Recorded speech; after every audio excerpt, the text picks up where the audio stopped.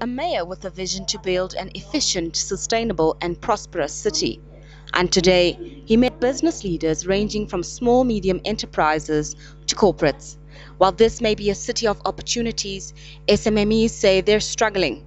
It's especially hard for them to benefit from the city's tenders. If, if, if the processes are, are more transparent, more open, and, and the public are able to see exactly what happens and, and how decisions are made as to who gets which contracts, and uh, that would help a lot. Meanwhile, owners of multi-billion rand projects such as the Gautrain are concerned about sustainability. The mayor has committed over 100 billion rands to ensure the development of the city.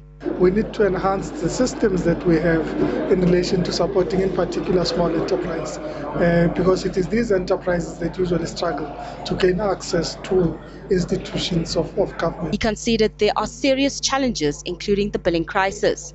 KPMG has been commissioned to conduct an audit into it. Nozindombi Mia, SABC News, Johannesburg.